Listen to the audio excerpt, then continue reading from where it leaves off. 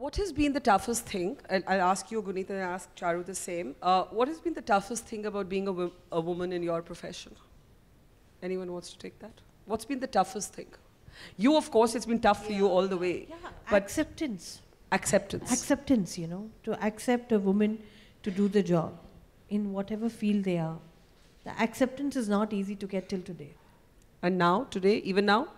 Even now, I feel in so many fields, you know, it, the acceptance is not there. You have to fight for your acceptance. You have to always prove yourself. You have to, you know, uh, show your, pro- you project your work, and you know, you have to give them showcases. You know, this is what I have done. This You have is- to hard sell yourself You have yourself to hard sell. You know, and you- then again, it we're not good you at that. And then you have to give uh, trials and you know testimonials and all that stuff. You know, you need to showcase your work, and then say, okay, we'll give you a chance. It's what you said I right in the beginning that you women have to work twice as hard to be just as good. I was uh, just now also. Um, it's so amazing. I was told by somebody extremely reputed, incredible.